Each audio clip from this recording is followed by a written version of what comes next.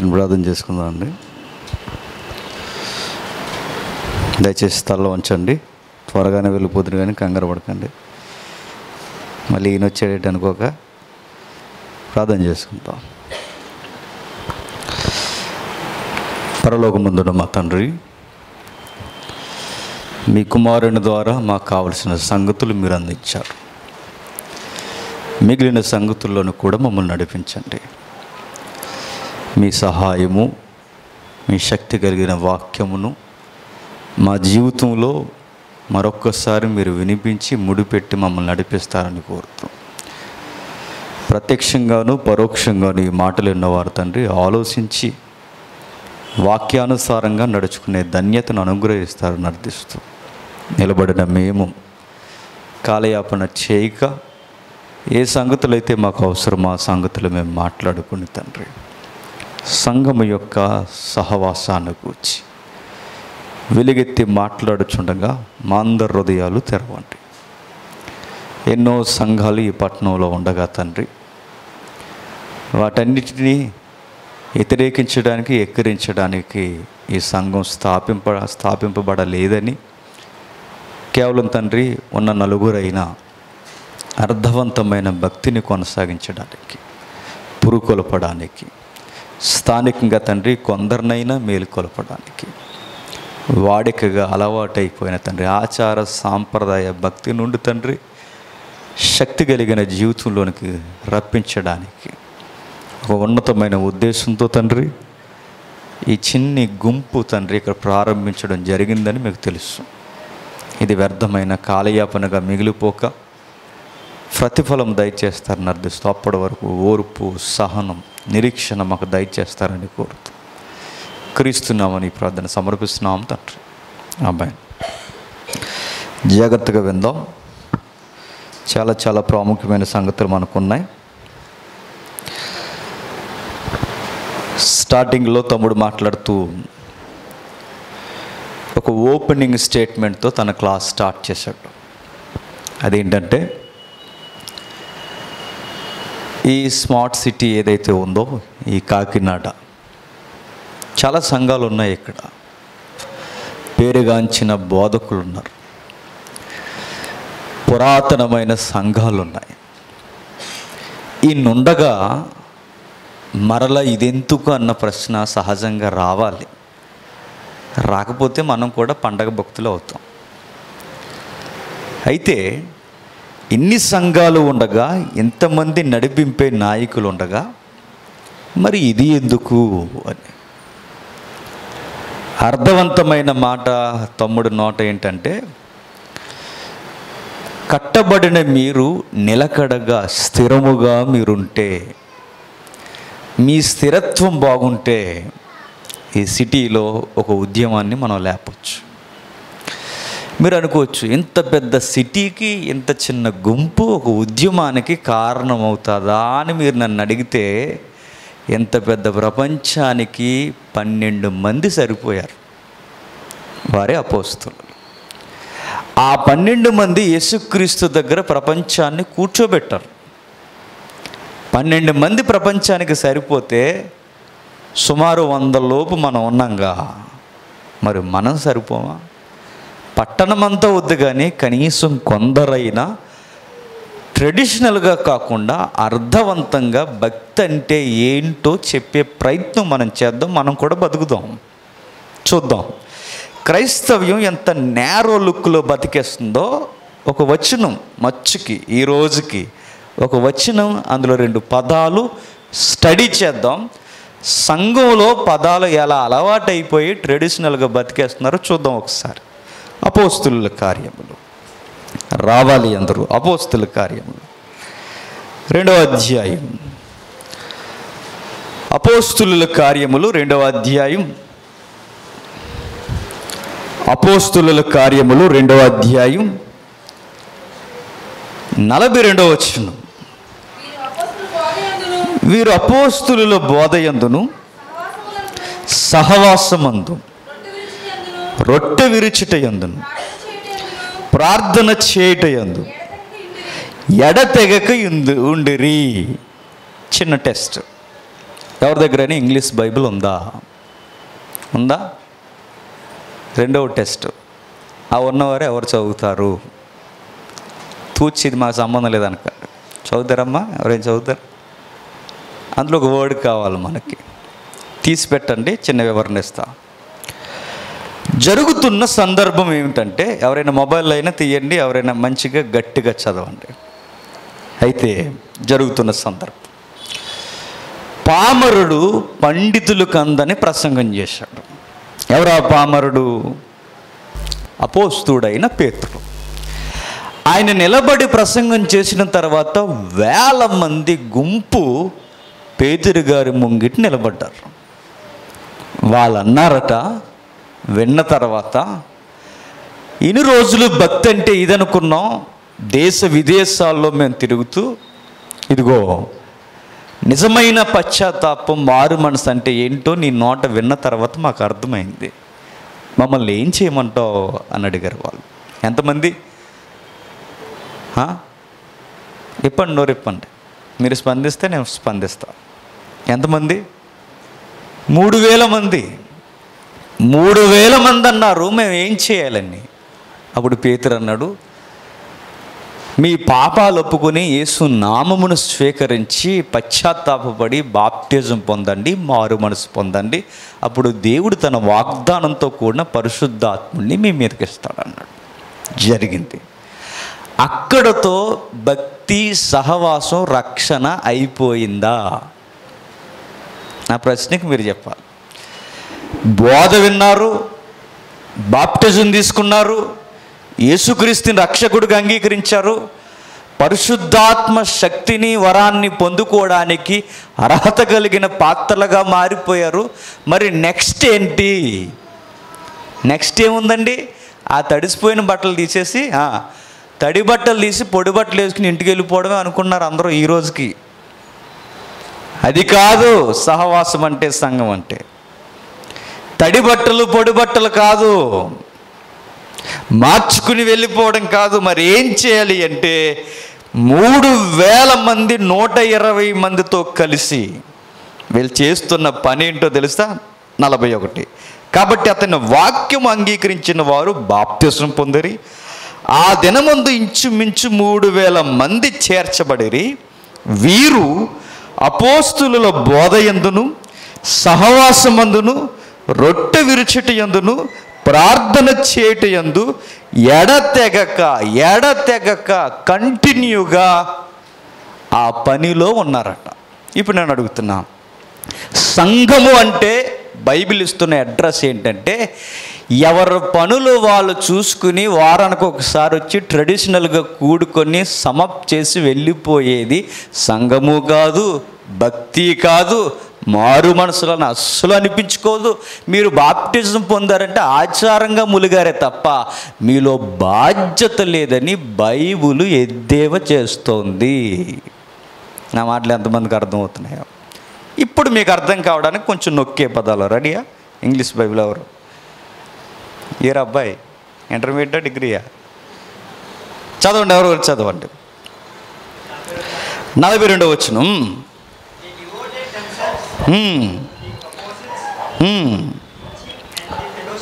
Okay hmm, చదువు చదువు. The devoted themselves ఒకసారి అక్కడ ఒక పదం చూడండి. డివోటెడ్ అన్న పదం ఉంది చూడండి.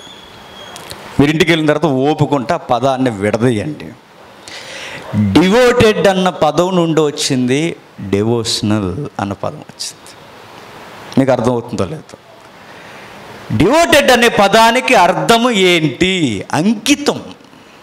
ఏంటట? అంకితం చేసేసుకోవడం. తమ్మును తాము ఇచ్చేసుకోవడం. డివోషన్ అంటే భక్తి. డివోటెడ్ అంటే అంకితం. అంకితంతో కూడిన భక్తి. అంటే మూడు వేల మంది ఏం చేశారు ఆ రోజు అంటే అపోస్తుల ఉపదేశానికి తమ్మును తాము చెప్పండి. అప్పగించుకున్నారు. అది భక్తి అంటే. మనకు అర్థమైతే ధన్యత. మరలా అడుగుతున్నాను. డివోషన్ అన్న డివోటెడ్ అన్న పదాలకు అర్థం ఏంటంటే ఒక వ్యక్తిని కానీ పనిని కానీ తన మొత్తాన్ని కానీ తన నిలువెత్తు రుణాను వనరులను అన్నిటినీ విన్న ఉపదేశానికి ఇచ్చేసుకోవడమే అంకితం చేసుకునే దాన్నే ఏమంటారంటే భక్తి అన్నారు. ఇప్పుడు నేను అడుగుతున్నా ఎంతమంది ఉపదేశానికి తమ్మును తాము అప్పగించుకుంటున్నారు? మనమైనా అప్పగించుకుంటున్నామా? అంత లేదు మనకి. వస్తాము వెళతాము ఏదో స్కూల్ పిల్లలు స్కూల్కి వెళ్ళినట్టుగా మనం కూడా ఆదివారం నాడు చర్చికి వస్తాం. ఆ తర్వాత ఎవరి పనులు వాళ్ళు ఎవరి విద్యా వ్యవస్థ వాళ్ళది ఎవరి ఉద్యోగాల వాళ్ళు మరలా వస్తాం. ఆయన్న బాయన్న ప్రార్థన అన్న అంతే అన్న ఇంతే అన్న ఏమైనా ఫంక్షన్ ఉంటే రండి అన్న వెళ్ళండి అన్న ఇంతేనా? ఇంతకు మించి ఏమన్నా ఉందా? మరి ఏమీ లేనప్పుడు మీరు సంఘ విశ్వాసులని అనడానికి మీకు ధైర్యం ఎక్కడిదని బైబిల్ అడిగితే మన దగ్గర సమాధానం ఏంటి? ఏమీ లేదు నోరు మూసుకుని మౌనంగా ఉండడం తప్ప. ఇంత లోతైన ఎద్దేవ బైబిల్ మనకు చేస్తున్నప్పుడు ఇన్ని సంఘాలు ఉన్నాయండి సిటీలో ఇంతమంది బోధకులు ఉన్నారని ఏ స్కేల్ మీద మీరు కొలుస్తున్నారని బైబిల్ అడిగితే చెప్పే ఆన్సర్ ఏముంది? ఏముంది? ఏమీ లేదు. ఉన్నారంతే. ఏడబ్ల్యూ టోజర్ అన్నాడు ఎవరికి నచ్చిన సేవ వాళ్ళు చేసే రోజులు ఇవి ఎవరికి నచ్చినట్టుగా వాళ్ళు ప్రవర్తించే విశ్వాసులు ఉన్న రోజులు ఇవి. ఇది ఈరోజు సంఘానికి ఉన్న డెఫినేషన్ తప్ప ఈ వచనం మీద ఏ సంఘాలైనా నిలబడగలవా? నిలబడవు నిలబడే అర్హతకి ఆ మాత్రం దూరంలో కూడా కనబడతాయి.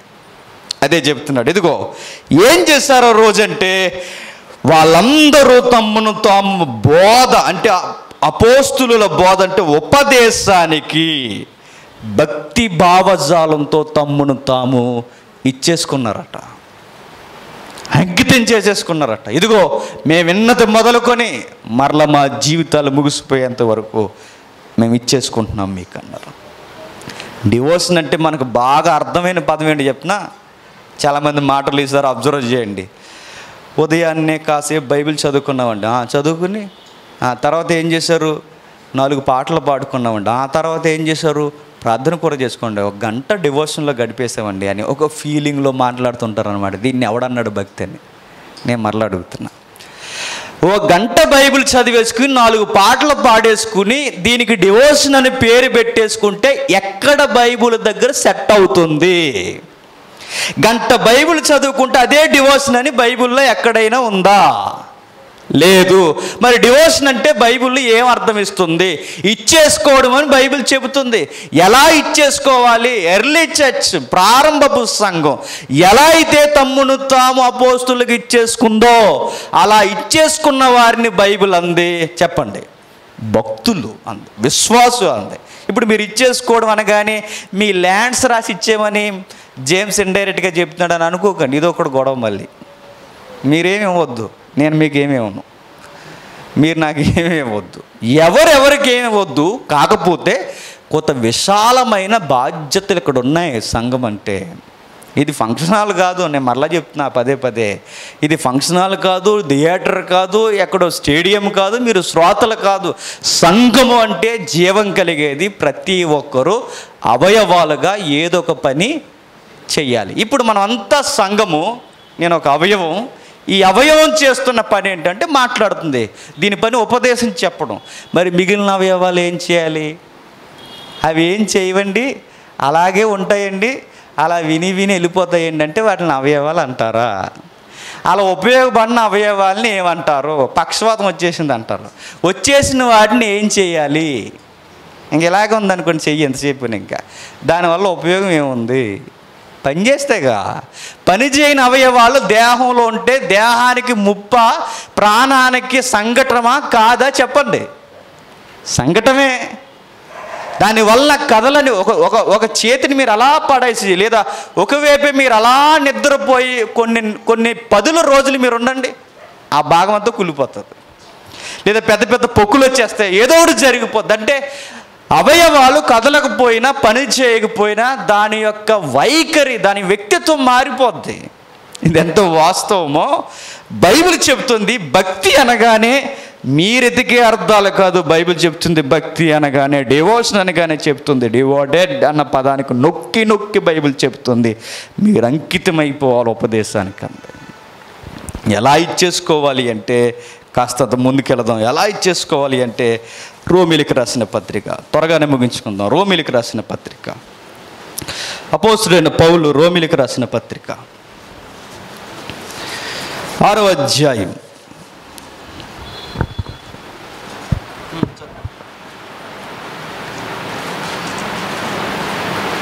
చదవండి చదవండి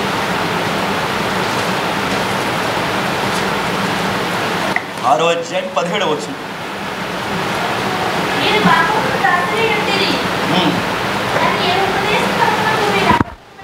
రోమిలికి రాసిన పత్రిక ఆరో అధ్యాయం పదిహేడు పద్దెనిమిది వచ్చినాలు చదవమ్మా.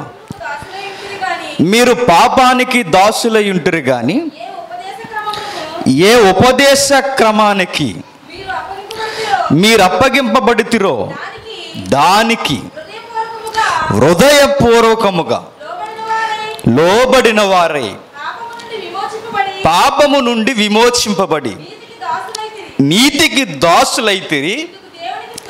ఇందుకు దేవునికి స్తోత్రము. అన్నాడు చూడండి. అంటే మనకు అర్థం కావాల్సింది ఏంటంటే అక్కడ పదాలు ఉన్నాయి ఒకసారి చూద్దాం. మీరు పాపమునకు దాసులయ్యుంటురి గతం. అయితే ఉపదేశ క్రమమునకు మీరు అప్పగింపబడ్డారో గతంలో మీరు దేనికి దాసులు? అంటే పాపానికి దాసులు. ఇప్పుడు మూడు వేల మందిని పెడదాం ఇక్కడ. ఈ వచనం దగ్గరికి మూడు వేల మందిని తీసుకొచ్చి వాళ్ళని ఈ వచనం దగ్గర నిలబెడితే మీ గతం పేతురు ప్రసంగానికి ముందు పాపానికి దాసులు. పాపానికి దాసులైన మీరు ఇప్పుడు ఉపదేశంలో ఉన్నారు. ఉపదేశంలో మీరు ఎలా ఉన్నారంటే ఆ ఉపదేశ క్రమానికి మిమ్మల్ని మీరు అప్పగించేసుకున్నారు. ఎంత బాగా అప్పగించుకున్నారంటే హృదయపూర్వకముగా అప్పగించేసుకున్నారు. ఎంత హృదయపూర్వకంగా అంటే ఇక మా మా జీవితం మా ఆలోచనలు మా సంతోషాలు మా కన్నీళ్ళు మా కష్టాలు మా బాధ్యతలు ఒక్క మాటలో చెప్పాలంటే మా జీవన మనుగడ ఇక సంఘముతోనే ముడిపడుందన్నంతగా అప్పగించేసుకున్నారు. అంటే వాళ్ళ జీవితంలో ఏం జరిగినా సంఘానికి సంబంధించిన మూమెంట్స్ ఎలా ఉంటే అలా జరిగితే అలా లేకపోతే జరగవన్నమాట. నీకు అర్థమైతే ఇక బాగుంటుంది ఇక్కడ. అంటే వాళ్ళు ఏం జరిగినా వాళ్ళ ఇంట్లో ఏ ఈవెంట్ జరిగినా ఏ నిర్ణయం తీసుకోవాలనుకున్నా వాళ్ళు ఎక్కడికైనా వెళ్ళాలనుకున్నా ఏ వ్యాపారం చేయాలనుకున్నా వాళ్ళ వెంటనే సంప్రదించి సంప్రదించిన దాని ప్రకారం నడిచేది ఎక్కడ తెలుసా? సంఘం ఏమంటుంది ఈ విషయంలో అని వెంటనే సంప్రదిస్తారు. సంఘం అక్కడ ఏమంటుందంటే ఉపదేశం చెప్తుంది. ఏ ఉపదేశం చెప్తుంది? పేతురు గారికి నచ్చినవన్నీ చెప్పడైనా. పరిశుద్ధాత్ముడు ఏం చెప్పాడో అవి చెప్తాడు. దేవుడు ఏం చెప్పాడో అవి చెప్తాడు. అక్కడ ఉపదేశం ఏం చెప్తుందంటే ప్రతి ఒక్కరిని రక్షణలోనికి రప్పించి అక్కడ పట్టుకొని నడిపిస్తుంది. ఇప్పుడు మనకు అర్థమవుతుంది. పద్దెనిమిదిలో పాపం నుండి విమోచింపబడి నీతికి దాసులైతిరి ఇందుకు దేవునికి స్తోత్రం. ఎంత బాగుందంటే దేవునికి మహిమ కలుగును గాక ప్రైజ్ లాడ్ అన్నాడంట ఆయన. ఎందుకు ప్రైజింగ్ జరుగుతుందంటే ఒకప్పుడు మీరు పాపానికి దాసులు ఇప్పుడు మీరు ఉపదేశానికి దాసులు. అంటే ఉపదేశం ఎవరిది? దేవునికి దాసులు. ఎంత దాసులు అంటే దేవునికి అప్పగించుకున్న మీరు ఇక మీరు దేనికి అప్పగించుకోరు? అపోస్తుల బోధ అంటే చాలామంది పేర్లు పెట్టేసుకుంటున్నారు. మాది అపోస్తుల సంఘం అండి అపోస్తులకు మినిస్ట్రీ అండి అపోస్తులు అపోస్తులు అండి ఈ తరం అపోస్తుడు అండి అని బాగానే పెట్టుకుంటున్నారు. పెట్టుకోండి. అంతకన్నా రోల్ మోడల్స్ మనం ఏది తీసుకోకూడదు అవే తీసుకోవాలి. కానీ ఇది అపోస్తుల మినిస్ట్రీ అనడానికి ఈ స్కేల్ సరిపోవాలి కరెక్ట్గా. ఈ కొలతలు సరిపోవాలి. ఇదిగో ఎవరైతే సంఘంలో ఉపదేశింపబడిన ఆ ఉపదేశానికి తమ్మును తాము అప్పగించేసుకుంటారో ఎస్ నేను ఇలాగే ఉండాలి. ఈ వాక్యానుసారంగా నేను ఉండాలని ఎవరైతే తమ్మును తాము అప్పగించేసుకుంటారో అట్టి వారు సరి అయిన భక్తిని జరిగిస్తున్నవారట. అయితే మరొక మాట. ఉపదేశానికి అప్పగించేసుకోవడం అంటే ఏంటి? ఇది ప్రశ్నే. అప్పగించేసుకోవడం అనగానే ఇప్పుడు ఒక గంట నేను చెప్పాను. పోనీ ఒక అరగంట చెప్తాను. అయిపోయిన తర్వాత అలా పైకి చూసి అప్పగించేసుకున్నాను. అని వెళ్ళిపోవడమా? ఏంటి అప్పగించుకోవడం అంటే? ఫీల్ అవ్వడమా? అప్పగించుకోవడం అంటే ఏంటి? అప్పగించేసుకున్నానని అనేసుకోవడమా? ఏంటి అప్పగించుకోవడం అంటే? చూద్దాం కాస్త ముందు పదాలకు వెళదాం. అదే అపోస్తుల కార్యములు. రెండవ అధ్యాయం. అపోస్తుల కార్యములు రెండవ అధ్యాయం నలభై రెండవ వచ్చును అదే అపోస్తుల కార్యములు రెండవ అధ్యాయం నలభై రెండవ వచ్చును అపోస్తుల బోధ ఎందును? సహవాసమందును. రొట్టె విరుచుట ఎందును? ప్రార్థన చేయట ఎందును? ఎడతెగక యుండిరి ఒకసారి ఆగుదాం. ఉపదేశానికి విశ్వాసాలు అప్పగించుకోవాలట. ఉపదేశం చేసే బాధ్యత ఎవరిది? నాయకులది. ఇప్పుడు నేను అడుగుతున్నా. ఒక ఫ్యామిలీలో ఫ్యామిలీ మెంబర్స్ బాగుండాలి అంటే దానికి ఎవరైతే యజమానులు ఉన్నారో వాళ్ళకి కరెక్ట్గా ఉపదేశం చేస్తే ఫ్యామిలీ మంచిగా రన్ అవుద్ది. బాగా అర్థం కావాలి అంటే ఆదామవ్వల్లో అవ్వ దెబ్బతినిపోవడానికి ఇండైరెక్ట్గా ఇదే కన్ఫర్మ్ అని అన్న కానీ ఇండైరెక్ట్గా ఎవరు సరి అయిన అర్థవంతమైన ఉపదేశం అవ్వమ్మకి చెయ్యలేదు. చెప్పండి ఎవరు? ఆదాం గారు అయ్యి ఉండాలి. నాకు తెలిసి. మరి ఆయన ఏం చేశాడంటే ఎంతసేపు డ్యూయట్లు ఎవరు? చూసిన వెంటనే సాంగ్ వేసాడు గొడవ లేకుండా ఎవరు? ఆదాం గారు. ఆ సాంగ్ ఏంటో మనకు తెలుసు. ఫస్ట్ ఫస్ట్ డూయట్ ఏంటి? అసలు మరి ఆ టైంలో కవిత్వం ఎలా వచ్చేసింది ఆ సాహిత్యం? ఎముకలు ఎముక మాంసంలో మాంసం అంత లేదు ఇంత లేదు? సిలక అన్నాడు ఎవరిని అవ్వమ్మ గారిని. ఆ పాట పాడుకున్న తర్వాత ఆ పాటలే పాటలేక జీవితంలో అప్పటివరకు అప్పటి వరకు సోలో సాంగ్స్ అక్కడి నుంచి డ్యూయట్లు వచ్చాయి. అవ ఆదాం గారికి. మరి ఈ పాటల మోజులు ఉండిపోయేటట్టు నాకు తెలియదు కానీ ఈ లోపల ఇంకొకడు వచ్చాడు ఉపదేశం చేయడానికి. ఎవడు? సాతానుగాడు. నీకు ఒకటి తెలుసా అన్నాడట. కొత్త మెసేజా అని అడిగిందంట ఎవరు? అవ్వం. న్యూ మెసేజ్ న్యూ డాక్టరీన్ అన్నాడు ఎవరు? సాతానగాడు చెప్పు అన్నది విన్నది. ఈ డాక్టరీన్ ఇది రాంగ్ డాక్టరీన్ అని గెస్ చేయకపోవడానికి అంతకు ముందు ఈమెకు ఉపదేశం చేయాల్సింది ఎవరు? అదమ్ గారే. నేను మరలా అడుగుతున్నాను. ఆ ఇంటి నాయకుడు ఆయనే కనుక అవ్వమ్మని ప్రభావితంగా కొంచెం బాగా ప్రభావితం చేస్తే బాగుండేదేమో నేను అనుకుంటున్నాను. ఇదే సాతానుగాడు ఉపదేశం తిమోతికి చెప్పినట్టుగా పౌలు అన్నట్టుగా ఇదే సాతానుగాడు ఉపదేశం మొట్టమొదట ఆదాం దగ్గరికి వెళితే వాడు ఉపదేశం బెరుసు కొడుతుందా కొట్టదా? రివర్స్ కొడుతుందా కొట్టదా వాడికి?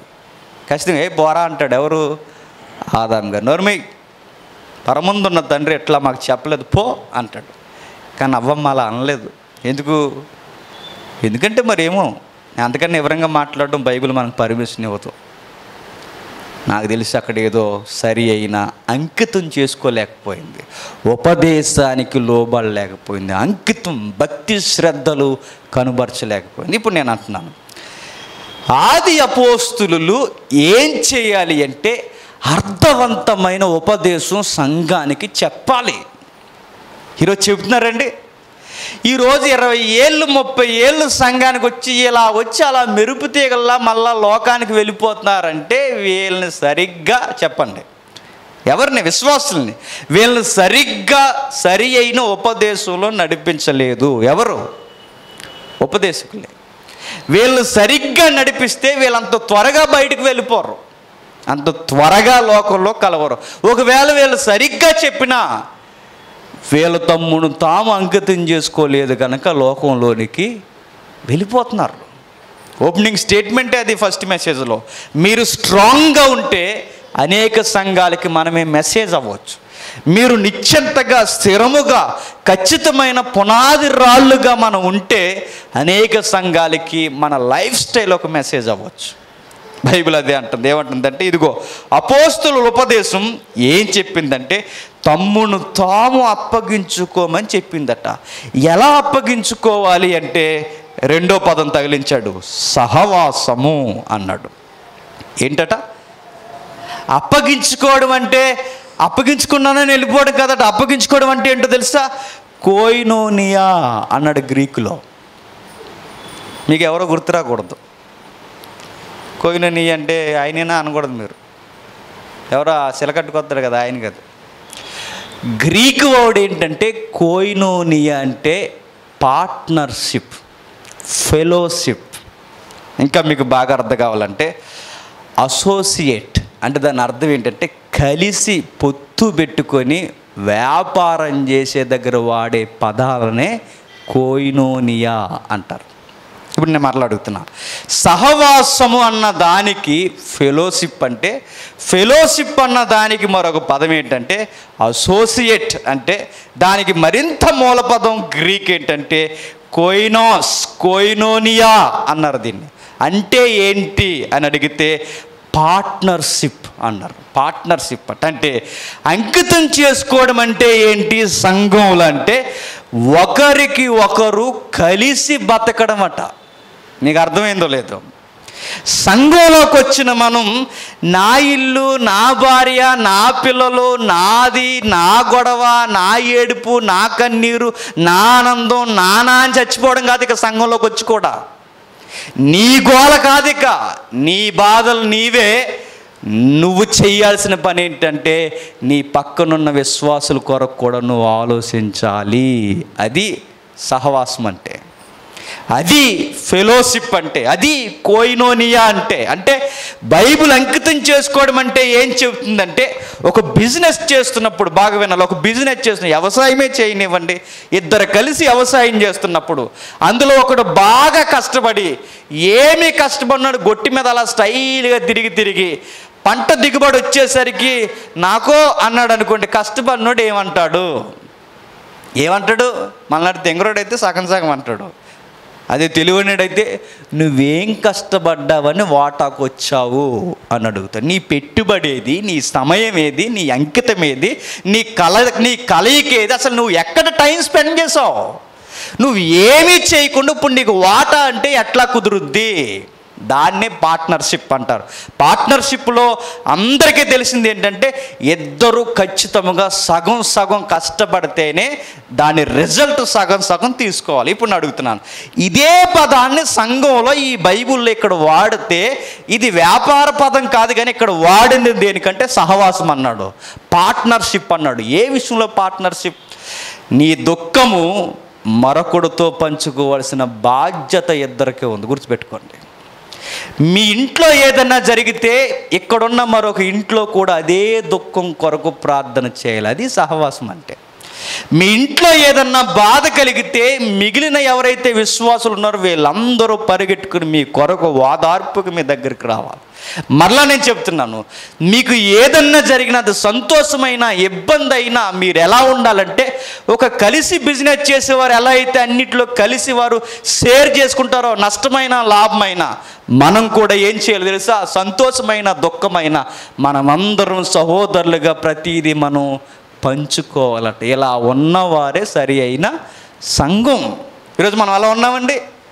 సహవాసం అనగానే ఏమనుకున్నారో తెలుసా? స్కూల్ పిల్లలు వచ్చినట్లుగా చర్చికి వచ్చి లాస్ట్లో టీ తాగేసి సమోసా తినేసి వెళ్ళిపోతున్నారు ఈరోజు. లేరు అలా లేరు. గట్టిగా మాట్లాడుకుంటే నెలాఖరిని శనివారం భోజనాలు వేసుకుంటున్నారు సందంతా పోగేసుకుని. ఇంకా గట్టిగా మాట్లాడితే థర్టీ ఫస్ట్కి బడకానే ఇంకా. ఇంకా గట్టిగా మాట్లాడుకుంటే చెప్పండి ఇంకా. ఈవెంట్లు అవి ఇవి ఏవో అడావుళ్ళు. చివరికి విషయం ఏంటి చెప్పిన పక్కనే కూర్చున్న సహోదరి పక్కనే కూర్చున్న సహోదరుడు ఒకరికి ఒకరు ఏమి ఇబ్బందిరా నువ్వు ఎలా ఉన్నావని కనీసం మాట వరుసగా అడిగే రోజులున్న సంఘాలు ఇవి కావు. ఎవడన్నాడు మీరు భక్తి చేస్తున్నారని బైబిల్ అడుగుతుంది. భక్తి సహవాసం అంకితం చేసుకోవడం అంటే మీరు ఒకరు బాధలను ఒకరు పంచుకోవాలి ఒకరి పట్ల ఒకరు బాధ్యత కలిగి ఉండాలి. ఒక్క మాటలో చెప్పాలంటే జాయింట్ పార్ట్నర్స్గా ఉండాలట. ఒకరికి ఒకరు ప్రతి దాంట్లో కలిసిపోవాలి. దాన్ని అన్నారు కోయినోనియా ఫెలోషిప్ అన్నారు దాన్ని. అది ఎప్పుడైతే మనం పాటిస్తామో అప్పుడు బైబిల్ మనకు చెప్తుంది మీరు సరి అయిన అంకిత భావంతో కూడిన భక్తిలో మీరు కొనసాగుతున్నారు. మరొక మాట చూద్దాం. ముగించేసుకుందాం త్వర త్వరగా. ఏప్రిల్కి రాసిన పత్రిక. అపోస్తుడైన పౌలు ఏప్రిల్కి రాసిన పత్రిక. అపోస్తుడైన పౌలు ఎబ్రిలకు రాసిన పత్రిక. పదవ అధ్యాయం. అపోస్తుల కార్యములు ఎబ్రిలకు రాసిన పత్రిక. పదవ అధ్యాయం. ఇరవై నాలుగు వచ్చిన పదో అధ్యాయం ఇరవై నాలుగో వచ్చిన కొందరు మానవులుగా సమాజముగా కూడుట మానక ఒకరినొకరు హెచ్చరించుచు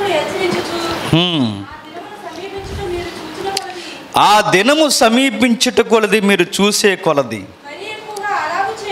మరి ఎక్కువగా అలాగు చేయచ్చు చేయొచ్చు ప్రేమ ఎంత బాగుందో చూడండి. ప్రేమ చూపుటకును సత్కారములు చేయుటకును ఒకరిని ఒకరు పురుకొలుపుకోవాలని. ఆలోచింతుము ఎంత అర్థవంతంగా సంఘ సహవాసానికి వచ్చి మాట్లాడుతున్నాడు చూడండి. ఆ దినము దగ్గర పడే ఒకటి మనం మానకూడదట. ఏంటది? సహవాసముగా కూడుకోవడం మానకూడదు. కొందరు మానేసి తిరుగుతున్నారట రెండు వేల సంవత్సరాల క్రితమే. ఏం చేశారట? కొందరు మానుకున్నట్లుగా అంటే దాని అర్థం ఏంటి చెప్పిన? మానేశారు. ఎందుకు మానేశారు? ఆ రోజు ఎబ్రి సంఘస్థుల్లో చాలామంది అంటే ఆ రోజుల్లో ఎవరైనా కూడుకుంటే ఆ రోజు రోమా ప్రభుత్వ అధికారులు మతున్మాదులు ఏం చేస్తున్నారంటే చంపేస్తున్నారు కొట్టేస్తున్నారు తరిమేస్తున్నారు. ఒక మాటలో చెప్పాలంటే ఎక్కడ క్రీస్తునామం వినబడితే అక్కడ స్త్రీ పురుషుడైన భేదం లేకుండా ఈడ్చుకెళ్ళిపోతున్నారు. అలాంటి భయానికి ఏం చేశారంటే ప్రమాదానికి కూడుకుంటే ప్రాణాలు పోయేలా ఉన్నాయని కూడుకోడు మానేశారట. మరి ఇప్పుడు సంఘాలు ఏం చేస్తున్నాయి? ఇప్పుడు సంఘాలు ఏం చేసాయంటే కూడుకుంటే కరోనా వస్తుందని మానేశారట. పెద్ద తేడా ఏమైనా ఉందండి? పెద్ద తేడా ఏమీ లేదు ఇక. ఆ రోజు చచ్చిపోతారనే కూడుకోవడం మానేశారు. ఈరోజు కూడా చెప్పండి. చనిపోతారనే కూడుకోవడం మా ఇది అడిగినందుకు నా మీద తిరగబడిపోయారండి అందరూ. ఇలా అడిగాను కుదురుండక. ఇలా అడిగితే అందరూ తిరగబడిపోయారు. ఏమని అడిగానంటే మీ ఫంక్షన్లు మీరు మానేశారా? మానేయలేదు. మీరు ఆదివారం వస్తే మాంసం కొట్టు దగ్గర పోవడం మానేశారా? మానేయలేదు బజ్జీలు కొట్టు దగ్గరికి వెళ్ళడం మానేశారా? మానేయలేదు ఏదైనా తిరగడానికి మానేశారా? ఎక్కడా మానేయలేదు ఏది మానేయలేదు మానేసింది ఏంటి? చెప్పండి సిగ్గు లేకుండా. సంఘంగా కూడుకోడు మానేశారు. ఎక్కడ మాత్రం కరోనా గుర్తు వచ్చేసిందట మాంసం కూడా దగ్గర కరోనా గుర్తు రాలేదట తినే దగ్గర కరోనా గుర్తు రాలేదట ఫంక్షన్ దగ్గర కరోనా గుర్తు రాలేదట సహవాసంగా కూడుకోవడం మానొద్దని బైబిల్ చెప్పిన కాడ మానేశారట. ఏంటి మానేలేదండి? మానేశారు. బైబిల్ చెప్తుంది. అది మానొద్దు. ఎందుకు మానకూడదంటే సహవాసం ఎంత ఇంపార్టెంట్ అంటే ఈనాడో రేపో ఎప్పుడో ఒకప్పుడు సడన్గా ఖచ్చితముగా గర్భిణీ స్త్రీకి ప్రసవ వేదన వచ్చినట్లుగా మన ప్రభు రాక జరిగిపోవచ్చు. సమీపమునే ఉంది. ఆయన డోర్ దగ్గరే ఉన్నాడు. ఎప్పుడు వచ్చేస్తాడో తెలియదు. ఆయన వచ్చేసే కొలది దగ్గర దినము వచ్చేసే కొలది చూసే కొలది మరి ఎక్కువగా మీరు కూడుకోవాలి. అలా కూడుకున్న మీరు ఏం చేయాలి అంటే టైంపాస్ చేయకూడదు. ప్రేమ చూపాలి. సత్కార్యాలు చేయాలి. ఒకరిని ఒకరు బాధల్లో ఇబ్బందుల్లో నీరసించిపోక. బ్రదర్ జరిగింది జరిగిపోయింది. దాన్ని బట్టి కేలాడతావేంటి? ఆ ఇబ్బందులైనా జీవితం అంటే ఎంతవరకు బాధపడాలి అంతవరకు బాధపడరా మనకు దేవుని పని సత్క్రియలు ఉన్నాయని పురుకొలపాలి రేపాలి రాని రప్పించాలి నడు పరిగెడదామని చెప్పాలి. ఈ సమస్యలు సుడిగుండంలో పడిపోయి నీరసించిపోతావా దేవుని కొరకు రగలకుండా? రా అని పురుగొలుపుకోవాలట. ఇది చేయాలట సంఘం. ఎక్కడ చేస్తున్నారండి ఇవి? చేస్తున్నారు ఇవి. పురుకొలపడం లేదు ప్రేమించడం లేదు సత్క్రియ లేవు. ఒక మాటలో చెప్పాలంటే సంఘాలే లేవు. సెటర్లు వేసేసారు కరోనా పేరు చెప్పి. వేసేలేదండి నేను అడుగుతున్నాను. కరోనా కాకపోతే మరొకటి వస్తుంది. అది కాకపోతే ఇంకొకటి వస్తుంది డెల్టా. ఆ డెల్టా కాకపోతే ఇంకొక బెల్ట్ వస్తుంది. ఇంకా ఏ పేర్లు చెప్పండి? అది కాకపోతే ఇంకొకటి ఏదో ఒకటి వస్తుంది. ఏదో ఒకటి నిన్ను మింగేయకుండా ఉంటుందా? చెప్పు. ఏదో మింగేస్తుంది నేను ఈ కరోనా దెబ్బ నీకు తగలకపోయినా డెల్టా అయినా నేను కొట్టవచ్చు ఏదో కొడదు. ఈ టైంలో వస్తే ఆయన అన్న రావచ్చు నువ్వైనా పోవచ్చు. ఈ రెండింటి మధ్య నీ బాధ్యత ఏంటి? ప్రేమ చూపాలి సత్క్రియలు చేయాలి ఒకరినొకరు పురుగొలుపుకోవాలి ఇది జరగాలి అంటే ఖచ్చితంగా మనం ఏం చేయాలి? సంఘము అటెండెన్స్ లోపం ఉండడానికి వీల్లేదు. సంఘం ఎంత బాధ్యత అంటే సహవాసముగా కూడుకోవడం అంటే ఒకరొకరొకొకరు ఆలోచించుకోవడం అట. నేను నిజంగా ఇది ఎక్కడ కనబడదండి. నేను బాధపడితే నా కొరకు బాధపడేవారు ఎంతమందని నీకు ప్రశ్న వస్తే నిజంగా నాకు సంఘం ఉందన్న ధైర్యం నీకు వస్తే అది నిజమైన సంఘం అండి. గుండెలు మీద చేసుకొచ్చాక నేను ఏడిస్తే నాతో పాటు ఏడ్చే వాళ్ళు ఉన్నారా నా దుఃఖాన్ని పంచుకునే వాళ్ళు ఉన్నారా నన్ను అర్థం చేసుకునే వాళ్ళు ఉన్నారా నాతో పాటు సంతోషాన్ని గడిపే వాళ్ళు ఉన్నారని ఒకవేళ నీకు ప్రశ్న వస్తే ఉన్నారు మా సంఘం నాతో పాటు ఏడుస్తుంది నా సంఘం నాతో పాటు నవ్వుతుంది నాతో పాటు నన్ను అర్థం చేసుకుంటుందని నువ్వు ఏ సంఘంలో అయితే కంఫర్ట్గా సహవాసాన్ని నువ్వు కలిగి ఉంటావో? నిజం చెప్తున్నాను మీరు మంచి సంఘంలో ఉన్నారు. డోకా లేని సంఘంలో ఉన్నారు. మేఘం ఎక్కే సంఘంలో ఉన్నారు. వరుణ్ణి నేరుగా ఎదుర్కొనే వధువు సంఘంలో మీరందరూ ఉంటారు. నేను మరలా అడుగుతున్నా డివోషన్ అంటే భక్తి అంటే ఒక గంట మీరు ఏదో ఫీలింగ్లో తన్మయత్నంలో ఉండడం కాదు. భక్తి అంటే అంకితం చేసుకోవాలి. ఎలా అంకితం చేసుకోవాలి అంటే ఒకరి కొరకు ఒకరు తమ్మును తాము అప్పగించుకోవాలి. బ్రదర్ మీ బాధ మా బాధ కూడా. ఏం ఫీల్ అవ్వకు. డీల్ చేద్దాం. ఏం కంగారు అవ్వకు. నీకెందుకు అందరం ఉన్నాగా? ఆర్థికపరమైన ఇబ్బందులా? తలో చేయి వేసుకుందాం. నీ అప్పు ఎగిరిపోద్ది అన్న ధైర్యం ఇవ్వాలి ఎవరు? సంఘం. ఇస్తున్నారండి?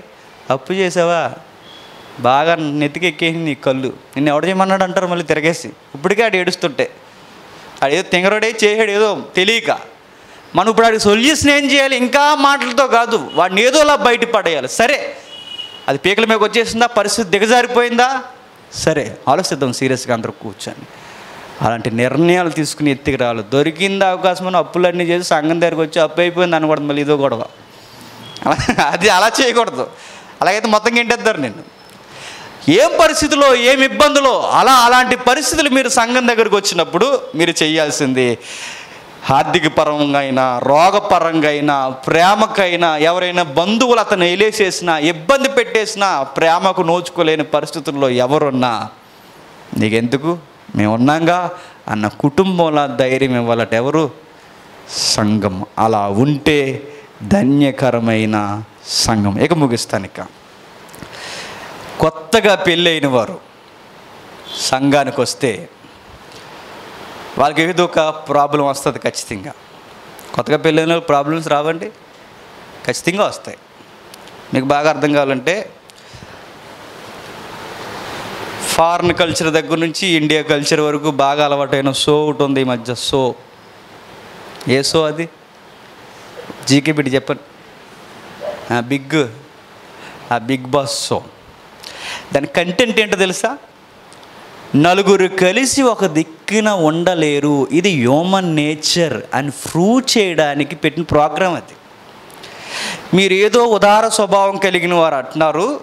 ఆ ఉదార స్వభావం కలిగిన నలుగురిని కలిపి గదిలెట్టండి గదిలో వీళ్ళు కుదిరింగా ఉంటారేమో చూడండి అన్నారు. ఉంటారా? అస్సలు ఉండరు. బాబు గోగినని కూడా ఉండలేదు. వార్తలు వచ్చాయిగా. నాకన్నా బాగా మీకే నాలెడ్జ్ తెలియాలి. ఖచ్చితంగా చూస్తారు కాబట్టి. ఉండరు నలుగురు కలిసి ఉండరు. ఒక బిగ్ బాస్ షోలోనే కెమెరాలు ఉండి జడ్జి ఉండి అన్నీ ఉన్నా వీళ్ళు ఇన్ని గొడవలు పెట్టుకుంటున్నారంటే కొత్తగా పెళ్ళయి ఒక ఇంట్లో నలుగురు కుటుంబాలు కలిసి కలిసి ఉండండి అంటే ఉండే కుదురుండే చెప్పండి. రకాల మనుషులు ఉండరు. అక్కడ స్టార్ట్ అవుతాయి గడిబిడి. ఏమవుద్ది? అప్పటి నుంచి ఇంక రకరకాల కారణాలు ఇప్పుడు అవన్నీ వదిలేండి మళ్ళీ ఫ్యామిలీ మెసేజ్ అయిపోద్ది. అవన్నీ మాట్లాడుకుని ఆ గొడవలు ఇట్టుకున్న తర్వాత ఈ టెన్షన్ టెన్షన్లో ఆ దంపతులు సంఘానికి వచ్చినప్పుడు సీనియర్స్ ఏం చేయాలి? వాళ్ళ స్ట్రగుల్స్ని అర్థం చేసుకుని సీనియర్స్ వాళ్ళని గైడ్ చేయాలి. ప్రాబ్లమ్స్ ఉంటాయమ్మా. దీన్ని ఎలా చక్కబెట్టాలి? దీన్ని ఎలా చక్కబెట్టాలని వాళ్ళకి సలహాలు ఇవ్వాలి ఎవరు? సీనియర్లు. సీనియర్లు జూనియర్స్కి గైడెన్స్ అవ్వాలి. వీళ్ళందరూ కలిసి ఒకరు ఒకరు సలహాదారులుగా సహవాసంగా బాధలు కన్నీళ్ళు పంచుకోవాలి. ఇదండి ఎర్లీ చర్చ్ యొక్క వైఖరి. ఈరోజు ఎక్కడోనేయండి సంఘాలు. మరొక మాట. ఎవరైనా పెద్దవారు వస్తే చిన్నవారిని ఏం చేయాలి తెలుసా? హెచ్చరించాలి. సీనియర్స్ ఏం చేయాలి? చిన్నపిల్లలు లేదా వయసులో ఉన్న పిల్లలు ఏదో ఒక అడావిడి కార్యక్రమం ఏదో ఒకటి చేస్తారు. ఆ టైంలో సీనియర్స్ ఏం చేయాలి? బాధ్యత తీసుకోవాలి. మీ ఇంట్లో మీ అబ్బాయి అలా గాలి తిరుగులు తిరుగుతాడు సెంటర్లో వదిలేస్తావా? వదిలే మరి సంఘానికి వచ్చిన యువకుడు ఎవడైనా ఆ రోడ్డు మీద గాలి తిరుగులు తిరుగుతుంటే నువ్వేం చేయాలి పెద్దగా? ఏంటి ఇక్కడ పనిని నువ్వు అడగాలి. తగిన చర్య తీసుకోవాలి. నువ్వు బాధ్యత వహించాలి. వీడు మన బిడ్డ అని నువ్వు తగిన శ్రద్ధ తీసుకోవాలి. సీనియర్స్ జూనియర్స్ని పట్టించుకోవాలి. చిన్నవారు పెద్దవారికి లోబడాలి. ఇలా ఒకరికి ఒకరు కుటుంబంలా ఉంటే అప్పుడు అన్నది బైబిల్ ఇది అపోస్తులు యొక్క సహవాసం. పాతవారు కొత్త వారిని గౌరవించాలి. కానీ గొడవ ఏంటి చెప్పిన? పాతవారు కొత్త వారిని గౌరవించడం గొడవించండి పాతవారు కొత్త వారిని పట్టించుకోలేదని పాస్టర్ గారు కొత్త వాళ్ళతో ఎక్కువ మాట్లాడారట. ఇంకంతే వచ్చింది గొడవ ఇక. నీకు అర్థమైందో లేదో.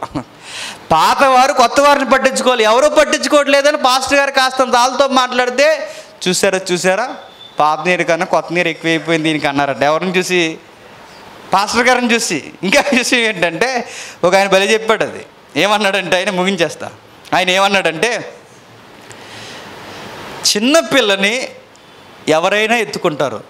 ఇరవై ఐదు సంవత్సరాలు వచ్చిన పెద్ద పిల్లని ఎత్తుకుంటారా?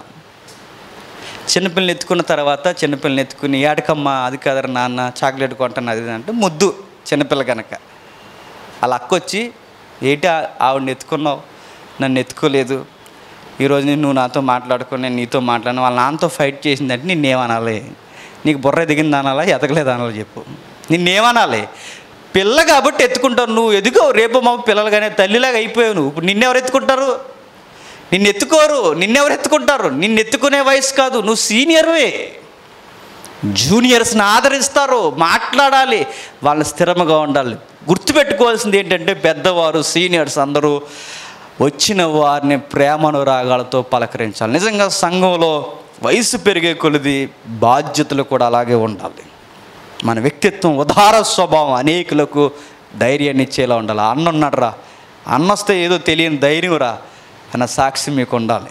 నిజంగా కొంతమంది చూడండి మన లైఫ్లో ఎవరైనా కొంతమంది సీనియర్స్ మన లైఫ్లో ఉన్నప్పుడు నిజంగా ఎంతమంది ఉన్నా కానండి ఆ అన్నయ్య ఉంటే నాకు తెలియని ధైర్యం అండి. అన్న ధైర్యం నీకు ఎవరైనా అనిపించాలి బిలీవర్స్లో. అలా అనిపిస్తే మీరు మంచి మంచి సహవాసంలో నడుస్తారు. బైబిల్ చెప్తుంది చదువుకుని ముగించేసుకుంటాం అదే అపోస్తుల కార్యములు. అపోస్తుల కార్యములు. అపోస్తుల కార్యములు రెండవ అధ్యాయం నలభై రెండవ వచ్చినాం ఇది అపోస్తలుల బోధయందును, సహవాసమందును,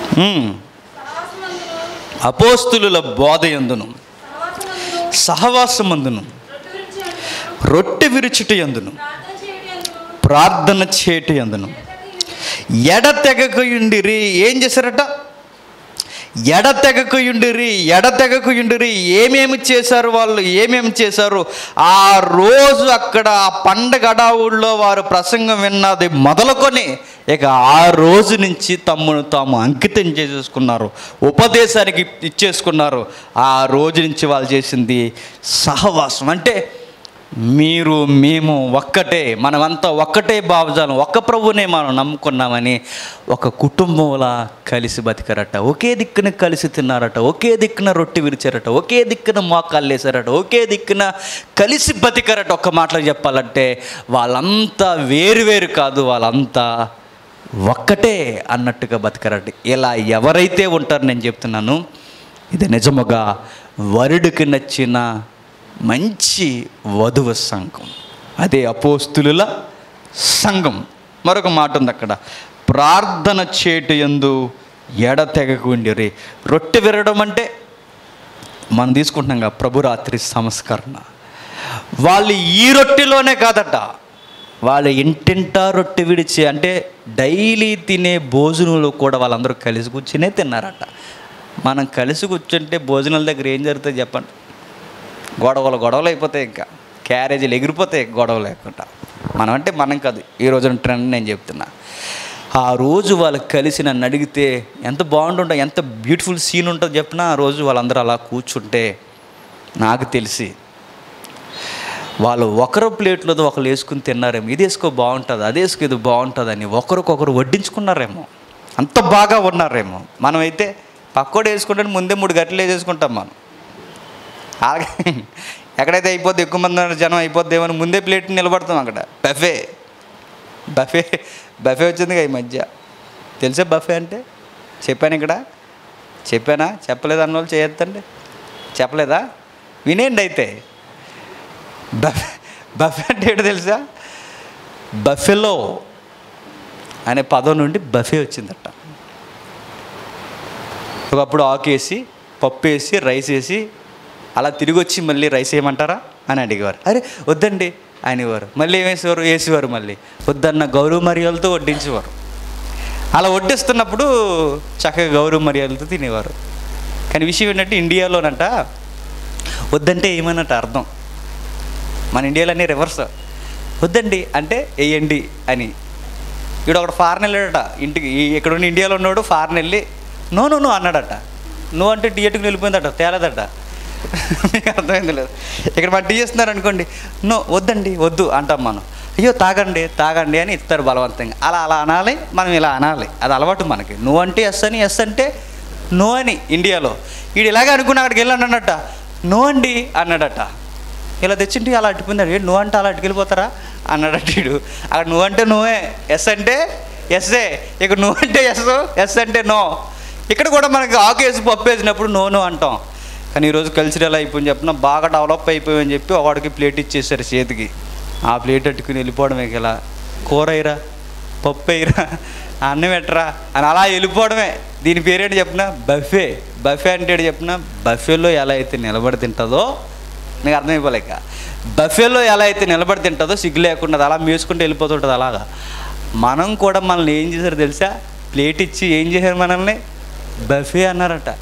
అంటే అది అది ఎలా సిగ్గు లేకుండా నిలబడి తినేస్తుందో మనం కూడా ప్లేట్ పెట్టుకుని వెళ్ళిపోయి సిగ్గు లేకుండా కొంచెం అనాలట. ఇలా అయిపోతాయి గొడవలు. విషయం ఏంటంటే వాళ్ళు భోజనాల దగ్గర డైలీ మీల్స్ దగ్గర ప్రభురాత్రి సంస్కరణ దగ్గర వాళ్ళు ఎంత కమిట్మెంట్ ఉన్నారంటే ఎక్కడ వాళ్ళ ప్రేమను రాగాలి ఎక్కడ మచ్చు కూడా మూతు పక్కకు తిప్పుకోవడం కానీ కనుసైగుల్లో కానీ గుసగుసల్లో కానీ ఎక్కడ ఏ మాట ఎవరిని నొప్పించుకునే మాటలు వాళ్ళు అనుకోలేదట. బైబిల్ చెప్తుంది ఇలా ఉందాం దయచేసి. అపోస్తుల సంఘం అంటే ఒకరికొకరు ఆలోచించుకోవడం ఒకరికొకరు బాధ్యత తీసుకోవడం. వయసు వచ్చిన చెల్లెళ్ళు ఉన్నారా? వయసులో ఉన్న తమ్ముళ్ళు ఉన్నారా? అన్నలు అమ్మలు ఆరోగ్యాలు చెడిపోయిన వారు ఉన్నారా? వీళ్ళందరి కొరకు మనం అందరం కలిసి ఆలోచించాలి. బాధ్యత మనది. మనమే తీసుకోవాలి. మన చెల్లెళ్ళు మన తమ్ముళ్ళు అమ్మలు తల్లులు లాంటి వారు మన తండ్రిని కన్న తల్లులు లాంటి వారు అందరూ ఉన్నారు. వీళ్ళందరినీ బాధ్యత తీసుకోవాల్సింది మనమే. ఈ డెడికేషన్ అపోస్తుల సంఘం. ఇలా ఉండండి. ఈ స్టాండింగ్ మీద మీరు నిలబడండి. రిజల్ట్ రాకపోతే అడగండి. పది మంది చాలు. ఈ పది మంది ఎవరికన్నో ఎవరికి చెల్లో ఎవరికెవరు ఎవరు ఒరిజినల్ కుటుంబం కూడా తెలియకూడదు. అంత అలా కలిసిపోవాలి మనం. అలా ఉండి చూడండి. నీకు ఏ బాధ కలిగినా వెంటనే సంఘం నీకుందన్న సంప్రదింపులు నీ మదిలో లేగాలి. ఇలా ఉండండి దయచేసి. భలే ఉంటుందండి సంఘం అలా ఉంటే. ఆయా ప్రాంతాల్లో మనం పుట్టి ఆయా మాటల కల్చర్లో మనం బతికినా మనమంతా ఒక్కటే ఒక్కటే మన క్రీస్తు బిడ్డలో. ముగించేద్దాం ఇక. పిలిపిలికి రాసిన పత్రిక. నిజంగానే ముగించేసుకుందాం. పిలిపిలికి రాసిన పత్రిక. రెండవ అధ్యాయం. పిలిపిలికి రాసిన పత్రిక రెండవ అధ్యాయం. మొదటి రెండు వచ్చినాలు కావున క్రీస్తునందు ఏ హెచ్చరికైనను? ప్రేమ వలన ఆదరణైనను? ఆత్మయందు ఏ సహవాసమైనను? ఏ దయారసమైనను? వాత్సల్యమైనను? ఉన్న ఎడల మీరు ఏక ఏక మనస్సులగునట్లుగా ఏక ప్రేమ కలిగి ఏక ఏకభావం గలవారుగా ఉండి ఒకదాని ఎందే మనసుంచుచు. మనసుంచుచు నా సంతోషమును సంపూర్ణము చేయడి. ఎంత బాగుందో చూడండి. ఆ పదాలు మీరు పదే పదే ఆలోచించుకోవచ్చు ఇంటికి వెళ్ళిన తర్వాత. ఆదరణైనా ఆత్మయందైనా సహవాసమైన ప్రేమైన హెచ్చరికైనా ఏదైనా మీరంతా ఏక మనస్సు ఏక ప్రేమ ఏక భావము కలిగి నా సంతోషాన్ని అధికంచేయండి అంటున్నాడు ఉపదేశకుడు. ఎవరైనా? పౌలు గారు. అపోస్తులు కోరుకున్నది ఏంటంటే మీరంతా ఒక్క కుటుంబంలాగే ఉండాలి. ఇది ఉపదేశం. ఇది ఈ ఉపదేశానికి అంకితం చేసుకోవడం ఎవరైతే ఇలా ఉంటారో ఈ ఉపదేశానికి అంకితం చేసుకుంటారో yes my family my church అని ఎవరైతే డెడికేషన్తో ఫీల్ అవుతారో ఫీల్ అవడం ఏంటి? ఆ స్టాండింగ్ మీద నిలబడతారో అట్టివారు నిజమైన పోస్తులులా సంఘం. ఇలా ఉండండి. నిజముగా ఎంత రమ్యముగా అంటే పరలోకంలో ఉన్న దేవదూతలు భూమి మీద ఉన్న సంఘాన్ని వంగి చూస్తాయట. అబ్బా దేవుని చిత్తము ఈ సహవాసం మందు నెరవేరుచున్నది అని. పరలోక ప్రభుత్వం భూమి మీదకి తొంగు చూసి పరలోకమందున్న జరుగుతున్న దేవుని చిత్తం భూలోకమందును కూడా జరుగుతుందని దేవునికి ప్రైజ్ ద లాడ్ అని చెప్తాయట. అది చేద్దాం దయచేసి. మనం ఉన్న నలుగురమైన పది మంది అయినా ఉన్నంతకాలం కలిసి మెలిసి కష్టమైన కన్నీరైనా అన్న తమ్ములుగా అక్క చెల్లెలుగా అమ్మ కొడుకులుగా అందరం కలిసి మనం కలిసి ఒకే కుటుంబంగా బతుకున్నంతకాలం బతుకుదాం. దట్ ఈజ్ అపోస్తుల్ మినిస్ట్రీ ప్రార్థన చేసుకుందాం. పరలోకమందున్న మా తండ్రి ఎందరికీ సంగతులు అర్థమయ్యాయి నాకు తెలియదు తండ్రి. నిజమే డివోషన్ అనగానే తండ్రి ఓ గంట బైబిల్ చదువుకోవడమో పాటలు పాడుకోవడం అనుకున్నాం కానీ తండ్రి. నిజమైన భక్తి నిజమైన అంకితం తండ్రి. ఎప్పుడైతే మేము జరిగించామో ఉపదేశానికి మమ్మల్ని మేము అప్పగించుకున్న తండ్రి సంఘము అనగానే ఆచార సాంప్రదాయంగా వచ్చి వెళ్ళిపోయేది కాదని ఒకరి కొరకు ఒకరు ఏకభావంతో ఏక మనసుతో కలిసి ఆలోచించేదని ఎవరైతే తండ్రి బాధ్యత కలిగి వ్యవహరిస్తారో అట్టిది నిజమైన అపోస్తుల సంఘము బోధ సహవాసము తండ్రి. అలాంటి నడిపింపులోనికి గ్రహింపులోనికి మమ్మల్ని నడిపిస్తున్నందుకు తండ్రి మీకు వినలేని స్థుతులు స్తోత్రములు. విన్నవారిని బలపరచండి. విన్న వాక్యాలు మర్చిపోకుండా వారి హృదయమందు భద్రం చేసుకుని తండ్రి సంఘముతో వారి వ్యక్తిగత జీవితాన్ని ముడిపెట్టుకుని బ్రతికే ధన్యతను అనుగ్రహిస్తారని కోరుతూ అన్ని విధాలుగా మీకు లొంగిపోతూ మీకే మహిమను చెల్లిస్తూ మా ముందు మాట్లాడిన ఉపదేశకుల్ని తమ్ముళ్ళని ఎవరైతే తండ్రి సహోదరులు పాటలు పాడుతున్న వారిని అందరినీ తండ్రి మీరు బలపరచండి. మేమంతా కలిసి ఏ పక్షపాతము ఏ వైఖరి లేకుండా ఒకరిని ఒకరు పురుగొలుపుకుని తండ్రి సంఘముగా ఉపదేశకులుగా పాటలు పాడే గాయకులుగా అందరూ తండ్రి మేమంతా కలిసి పరలోకపు దేవదూతకులకి వేడుకగా ఉండే ధన్యతను సహవాసాన్ని రమ్యమైన జీవితాన్ని మాకు అనుగ్రహిస్తారని కోరుతూ. తిరిగి వెలుచుండగా మార్గం మధ్యలో మీ తోడును అనుగ్రహించండి. చక్కగా వారి గృహాలకు చేర్చండి. ఈ మాటలు తలపోస్తూ ఆనందించే హృదయాన్ని వారికి దయచేస్తారని కోరుతూ. అన్ని విధాలుగా మీకే లొంగిపోతూ క్రీస్తునామని ప్రార్థన సమర్పిస్తున్నాం తండ్రి. ఆమె సరే.